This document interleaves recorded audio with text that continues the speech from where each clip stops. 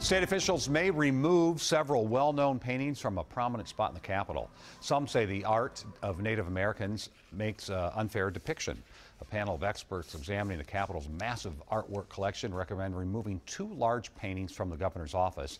The paintings include one with images showing Native Americans in stereotypical clothing and with a bare chested woman. And the one with uh, Father Hennepin uh, is uh, historically incorrect, that he was not there widely, you know, re- being revered by the, by natives at that time, and there was a part of the portrait which is indecent exposure, which needs to be remedied.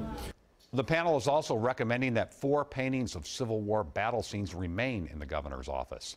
A final decision will not be made until the fall. The Capitol is expected to reopen in 2017.